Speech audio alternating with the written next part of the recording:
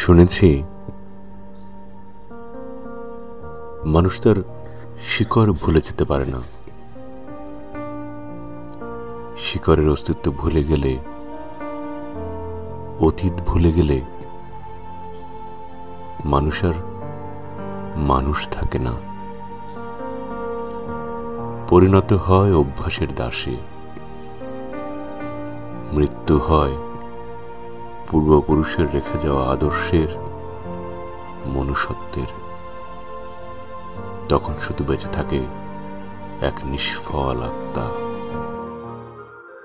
এই ভিডিওতে আমি আপনাদের নিয়ে যাব আমার মামা বাড়িতে আমার মামা বাড়ি ফরিদপুর জেলার সদরপুর থানার গৌরচর গ্রামে।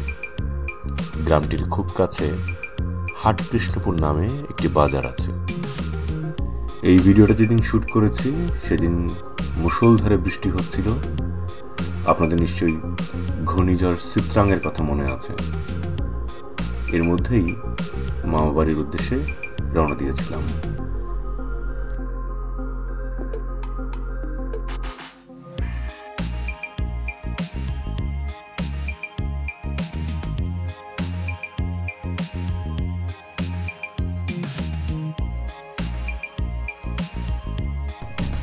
আমার মামাবাড়িতে দুটি পথে যাওয়া যায়।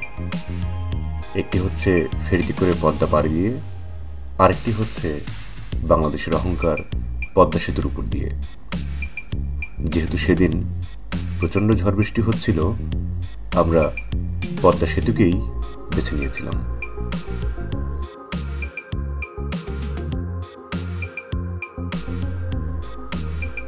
গাড়িতে আমার সাথে ছিলেন আমার মা আমরা দুজন এই বৃষ্টি ভেজা সকালে বেশ মজা করেই মামা বাড়িতে যাচ্ছিলাম। জার্নিটাও বেশ উপভোগ্য ছিল।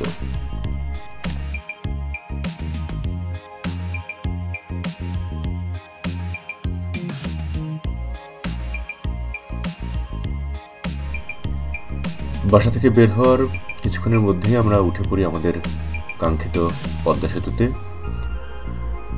পদ্মা সেতুতে আমার মা কখনো ওঠেননি। এটাও একটা কারণ ছিল সে সময় এই পদ্মা সেতুর উপর দিয়ে মামা বাড়ি যাওয়ার। আমরা খুব ধীরে ধীরে পদ্মা সেতুর মূল স্তম্ভগুলো পার হয়ে যাচ্ছিলাম এবং একটা সময় আমরা নদীর মাঝখানে চলে আসি। এই সময় প্রচণ্ড বাতাস ছিল, প্রচণ্ড বৃষ্টি হচ্ছিল পদ্মা সেতুর উপরে বৃষ্টি হচ্ছিল, নদীতে বৃষ্টি পড়ে দেখতে পাচ্ছিলাম। এটা একটা অসাধারণ অনুভূতি ছিল। এবং যেহেতু মাকে নিয়ে পদ্মা সেতুর উপরে উঠেছি, এটাও একটা দারুণ ভালো লাগা কাজ করছিল। ধীরে ধীরে পদ্মা সেতুর উপর দিয়ে যেতে যেতে আমরা আমাদের কাঙ্ক্ষিত গন্তব্যের দিকে ছুটে যাচ্ছিলাম। সবসময় মামাবাড়ি যেতে ভালো লাগে। পদ্মা সেতুর উপর দিয়ে মামাবাড়ি যা মামাবাড়ি যাচ্ছি, এটা আরও বেশি বেশি ভালো লাগছিল।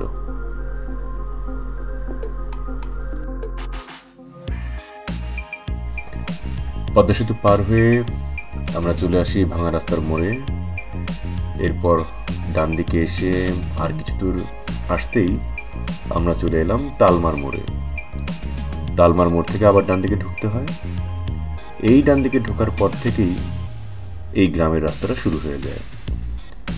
গ্রামের এই সুন্দর বৃষ্টি ভেজা রাস্তা, চারদিকে গাছের সারি, এটা আসলে অন্যরকম একটা অনুভূতি দেয় সবসময় এই সময়টা খুব ধীরে গাড়ি চালাতে হয়, না হলে যে কোনো দুর্ঘটনা ঘটতে পারে। তো আমি এই ভিউটা এই দৃশ্যগুলো প্রচণ্ডভাবে আমি উপভোগ করছিলাম।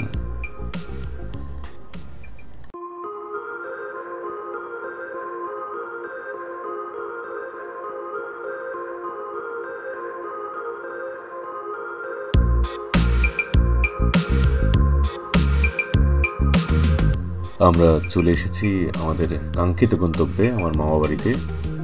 এই বাড়িটা ডাক্তার বাড়ি নামে পরিচিত। আমার দাদু একজন চিকিৎসক ছিলেন।